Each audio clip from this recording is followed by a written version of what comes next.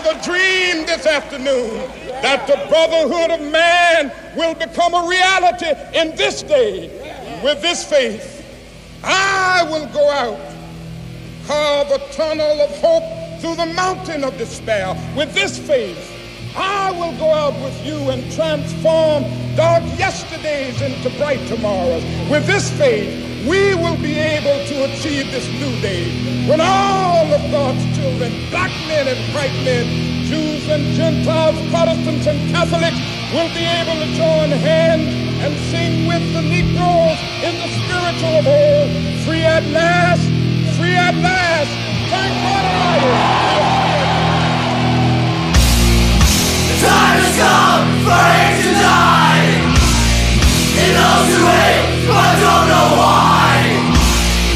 Black and white can turn to gray.